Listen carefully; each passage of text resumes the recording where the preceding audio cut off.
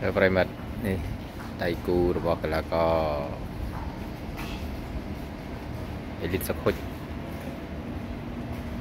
បាទរងតាវ៉ាន់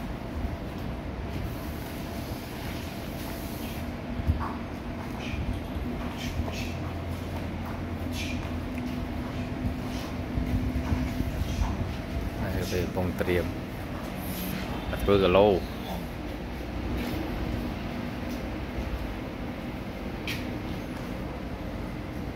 អញ្ចឹងសម្រាប់សប្តាហ៍នេះនឹងបានទស្សនាបាទសម្រាប់ការប្រកួត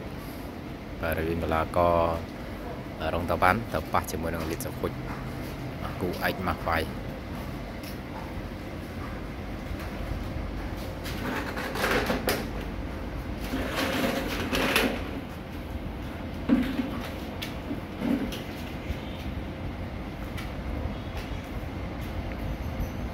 នេះ